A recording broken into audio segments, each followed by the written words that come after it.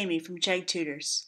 Today I want to talk to you about the idea of a tragic flaw, which we see in lots of classical literature, but especially in tragedy and also in mythology.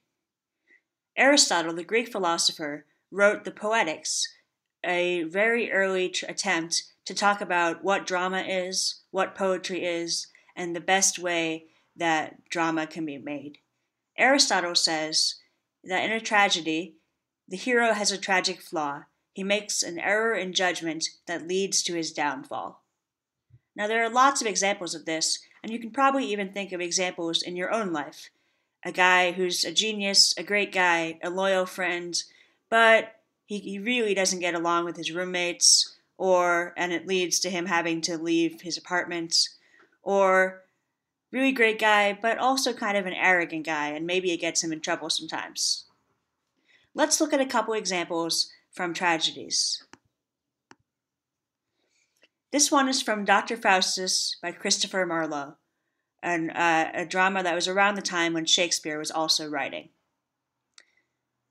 Faustus's offense can never be pardoned. The serpent that tempted Eve may be saved, but not Faustus. God forbade it indeed, but Faustus hath done it. So Faustus is a guy who makes a deal with Lucifer, makes a deal with the devil, and it doesn't turn out so well for him. He's a really smart guy. He wants to keep reading his books and learning. Now he'll do anything to burn his books because he's made a deal with the devil and he's ruined now. We see in here also kind of the original example of what we might think of as a tragic flaw. Adam and Eve are in paradise in the Garden of Eden.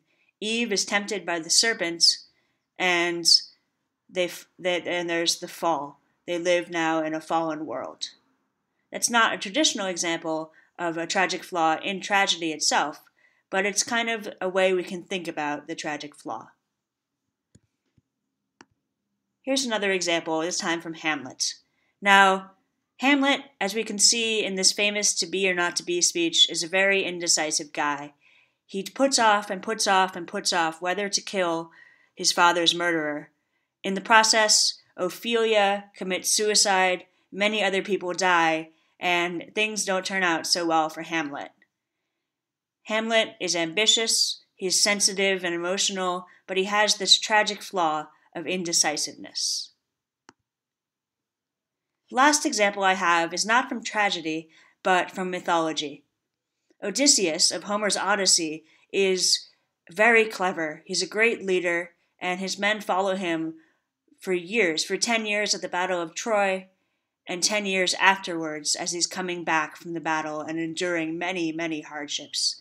Odysseus arrives at the island of Polyphemus, the Cyclops that we know pretty well.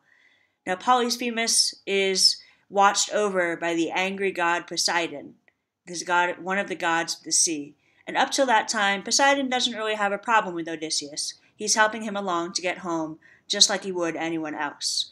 But Odysseus has a clever trick to get off the Cyclops Islands and save the life of him and his companions.